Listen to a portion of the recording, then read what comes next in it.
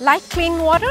We do too. Get ready to learn more about Miami's water and the Everglades. In the latest collaboration between Miami Waterkeeper and the Everglades Foundation. Hi, I'm Dr. Meenakshi Chabba, Ecosystem and Resilience Scientist at the Everglades Foundation. And I'm Dr. Rachel Silverstein, Waterkeeper and Executive Director of Miami Waterkeeper.